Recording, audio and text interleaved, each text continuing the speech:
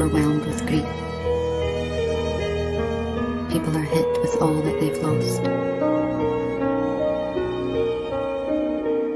Lovers they never had,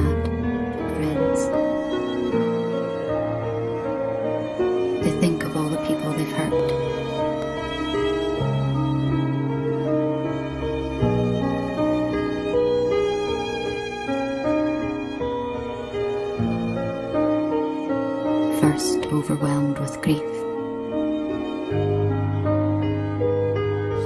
and then no sense of smell. That's the disease.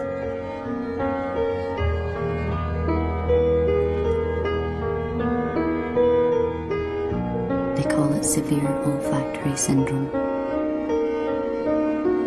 S O